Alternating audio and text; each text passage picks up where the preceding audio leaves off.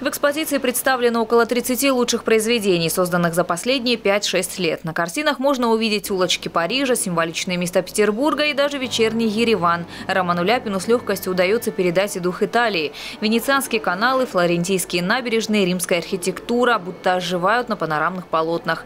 Ведь в 90-х живописец жил и преподавал в Риме, городе, искусство которого не один век являлось образцом в истории мировой художественной культуры. В пейзажах Ляпина природа каждого мегаполиса сливается с его архитектурными сооружениями главным образом, небесным сводом. Мастер успешно соединяет на полотнах современную жизнь города и его историческое прошлое, придавая общей картине некую романтическую нотку. Это попытка написать воздух. Не столько интересуют нас сами предметы, как их состояние, как их восприятие нашим сознанием. Это, что-то такое не из повседневности, это совсем новое видение.